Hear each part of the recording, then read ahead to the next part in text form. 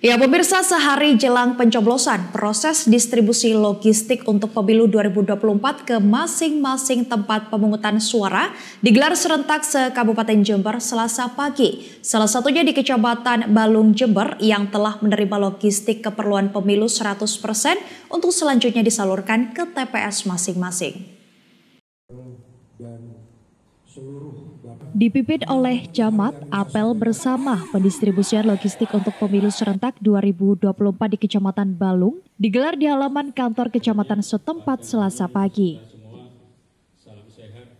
Pendistribusian logistik ini digelar serentak oleh petugas gabungan dari unsur KPU, Bawaslu, aparatur pemerintah, TNI serta Polri serentak se-Kabupaten Jember ke masing-masing tempat pemungutan suara atau TPS sebanyak 7.706 di 31 kecamatan.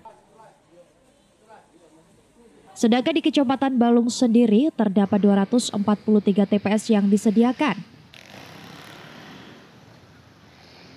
Bagi warga setempat yang hendak menyalurkan hak pilih, kelengkapan logistik di Kecamatan Balung telah mencapai 100%, meliputi surat suara, bilik suara, kotak suara, serta peralatan mencoblos lainnya.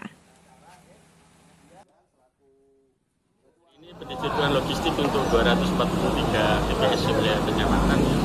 Tadi BPK nanti menjelaskan rondonya dan kami memfasilitasi kaitan dengan koordinasi masing-masing sektoral. Sudah lengkap sudah lengkap semua, logistik semua lengkap ya Bu ya. Sudah siap siap untuk pelaksanaan besok. Harapannya sukses, sukses.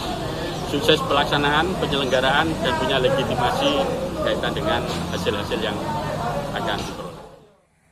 Harapannya pemilu serentak 2024 dapat berjalan lancar dan kondusif serta menghasilkan para pemimpin yang sesuai dengan keinginan masyarakat.